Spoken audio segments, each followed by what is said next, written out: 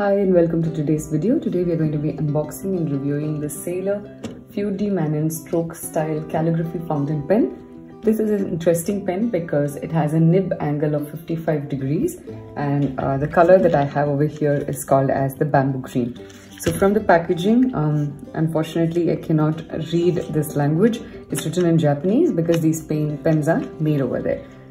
So I picked this up on Amazon for about 1799 you can uh, figure out where you can get it in your uh, place.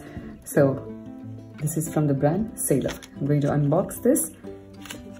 Before that, I will just give you an idea of what it means by the 55 degrees. So you can see a regular pen will have like a straight nib, but in this it is bent. So this is meant for calligraphy and uh, personally I'm going to be using it for a lot of sketching, urban sketching specifically. Let's unbox this.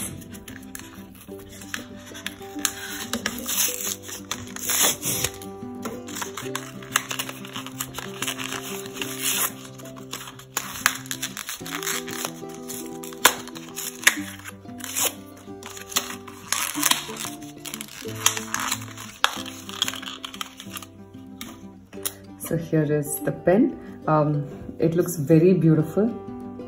The color is so pretty.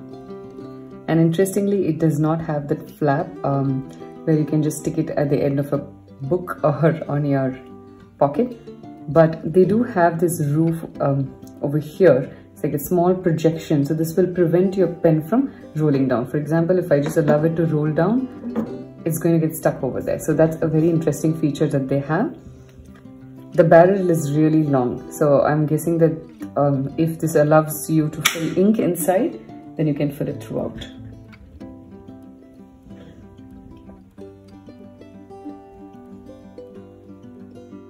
The barrel is very long, which is a nice feature. It holds well. Let's open it and see how it looks. It is such a pretty looking pen and you can see the nib. It's golden color and it is bent over here. So I'm quite excited to try this out. And inside, it has a converter. Also, it's come with its own cartridge. That's really nice. So um, if you need to like change your uh, ink, this has come with its ink on its own. If you need to change it, you need to get a converter. So um, I'll probably make another video of how to use it with a converter sometime. So let's now add this cartridge inside and start using this pen. Now, how do you use a cartridge? So there are two ends of a cartridge, one which will have like a flatter one, the one, there's another side which has a little bit of like a cup inside. Um, or like a depression. So what you're supposed to do is don't take a pin or anything to puncture it. You just have to press it inside over here and push it till you feel that it has got punctured and it just gets stuck inside. So there's a small slight sound which comes in and that's how you know that it has fit inside. So now I'm going to fix this back in and make sure that it's it's not moving or coming out. So I'm just going to check this back again. Yep, it fits perfectly fine. And I'm going to try now and write this on a paper and see how the pen works. Alright, so I've got now a sketchbook over here. This is the Brustro sketchbook. It's about 180 GSM paper. You ideally can use anything above 100 GSM for fountain pens. You don't have to go too thick in terms of like GSM. Don't go to 300, 350, 440. You don't need that, okay? You just need anything above 100. But since I'm going to be doing a lot of sketching, I decided to try it out on this. It fits in at the back and let's hope the cartridges fit in well and I'm able to use the ink. Oh, this is amazing. I'm to zoom in and show you.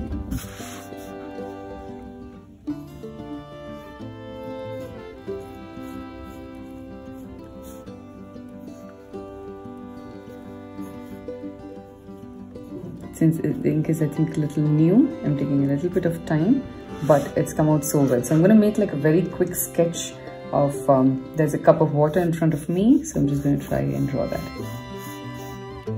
And you'll get an idea of why I want to use this for urban sketching. The lines are so organic and beautiful.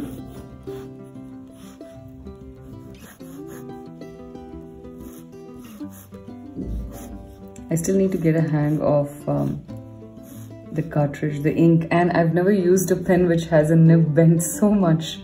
It is so interesting for me.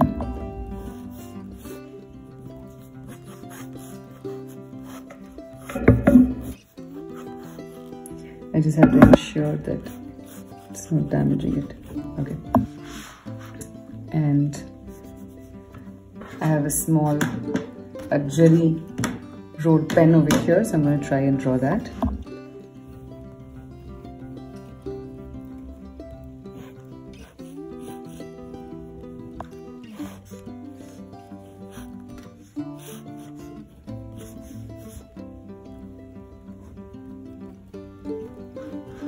So I think for calligraphy, it is so good. Even for sketching, I am definitely going to be using this for a lot of um, urban sketching. Just going to try and draw some buildings.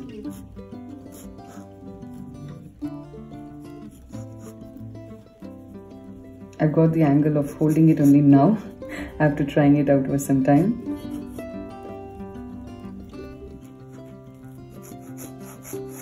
So if I need to get like thinner lines, I need to hold it at an angle. A little. So this way I can get very thin lines. So it's almost like you know holding a brush with um, vertically. So you can see how I'm holding it for the thin lines. It's so smooth. I, I love the flow of the ink. And if I make it sleep then I get slightly thicker lines so you can go from a thin to a thick line. So if I have to try and draw this again,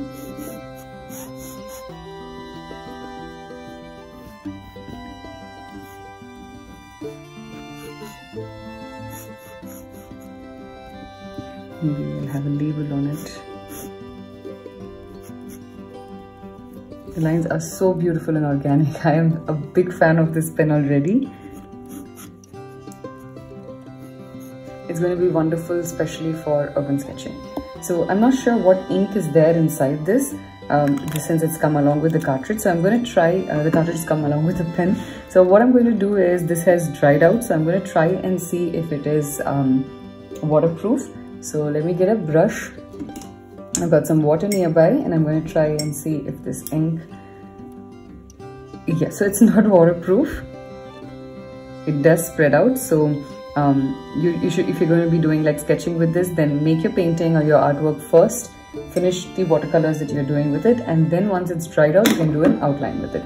Or you could change the ink. So if you need waterproof ink you could try out Noodler's ink and there are a couple of other inks out there and um, once I change my ink I will uh, probably do a short video of the different kinds of waterproof inks you can use for your fountain pens so today's video was just a quick brief of how to um, use the Sailor pen and how good it is, what's the benefit of having the 55 degree nib and you can see the different organic strokes that you can make with it. So I'm so happy because I think when I go outside for sketching or even if I'm in my studio and I'm drawing something and I pick this pen and draw, the flow is so organic. You have no um, control sometimes. And you just go about it and it looks so beautiful. Like I think this is come out really well.